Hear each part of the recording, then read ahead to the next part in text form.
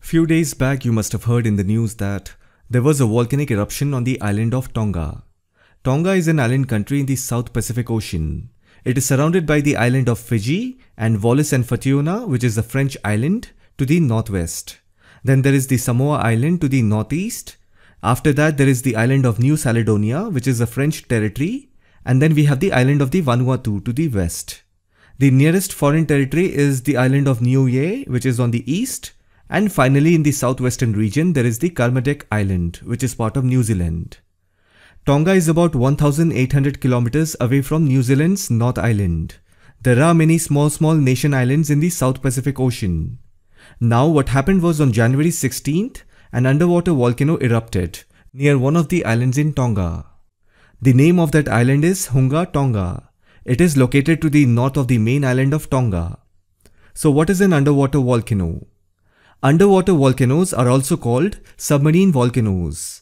Let me explain how a volcano erupts underwater. When there is a divergent plate boundary in the ocean, in other words, when two oceanic plates are moving away from each other, molten basaltic magma from the mantle comes up and spreads on the ocean surface. It is also called as mid-oceanic ridge. When magma comes out, it forms an underwater volcano or submarine volcano. A good example is the Atlantic Oceanic Ridge. It is a good example of a divergent plate boundary. Now divergence happens in two continental plates too. That is how oceans form. Volcanoes don't form that way, only oceans are formed. Now underwater volcanoes are also found near convergent plate boundaries. When a heavier plate converges or slides beneath the lighter plate, that is called subduction. Now convergence can happen between two continental plates, two oceanic plates and even between one oceanic and one continental plate. During subduction, trenches are formed. Since the heavy tectonic plate is pushed beneath the lighter plate and deep into the mantle, causing the seafloor and outermost crust, that is the lithosphere, to bend and form a steep, V-shaped depression. Now this causes earthquakes and underwater volcanic eruptions. Tonga's volcanic eruption is due to subduction and not due to seafloor spreading. Subduction is caused due to convergence and seafloor spreading is caused due to the divergence plate boundary. If you look at the island of Tonga, it sits at the center of two major tectonic plates, the Indo-Australian plate in the west and the Pacific plate in the east. Since the Pacific plate is denser, it slides beneath the Indo-Australian plate. Tonga in New Zealand becomes the subduction zone. As I've mentioned, subduction zones are prone to earthquakes and underwater volcanoes. That is why you must have heard in the news that right after the volcanic eruption in Tonga, there was an earthquake that triggered a tsunami. So underwater volcano, earthquake and tsunami all happened because the Pacific plate was sliding beneath the Indo-Australian plate.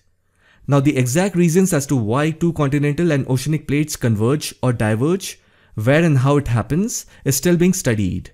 It is not that easy to understand and study this whole creation in its fullest sense. If you notice, I use the word creation. If we pay attention to anything in this world, even our own body, we can closely see that there is creation. Our body cells are regenerating every single second. It is an ongoing process that will go on till we die. But the only mind-boggling thing is who is the creator. Because if there is creation, there has to be a creator. We cannot separate the two. Similarly, when two continental plates or oceanic plates converge or diverge, it is still being studied. Although there are theories, what is the exact reason behind it, we still don't know. And maybe perhaps we may never know the exact reason behind it. As I said, it's an ongoing process. If something is constantly evolving and changing, it's difficult to study it because there will be too many variables, too many patterns that are beyond human comprehension. Anyways, I hope you have now understood how an underwater volcano occurs. Now let me elaborate on the creation part. After this incident in Tonga, as usual, social media was flooded with videos and photos. Now needless to say, this volcanic eruption has caused significant damage. So from a human's perspective, yes, we look at it as damage, loss. But if you look at it from nature's perspective, it is called creation. I'll explain how. Now what happens is that as the underwater volcano continues to erupt, all the lava that comes out of the earth's crust piles up on the seafloor, eventually forming an underwater mountain. As the volcano continues to erupt, the underwater mountain's elevation grows higher and higher, eventually breaking the surface of the water. Once it is out of the water, it becomes an oceanic island. So this is how a volcanic island or a seamount is formed. Now in the next stage, tiny sea animals called corals begin to build a reef around this island. These corals are very hard in nature.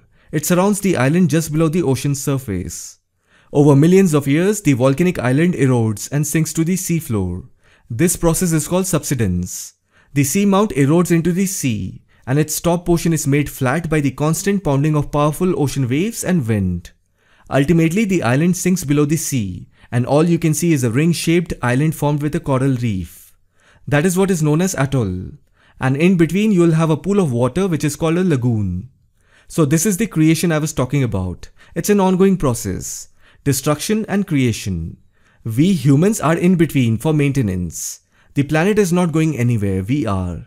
If you see, we humans are only interested in keeping our own habitat clean, so that we can live comfortably. But nature is totally opposite. It heals itself. It's a self-correcting system.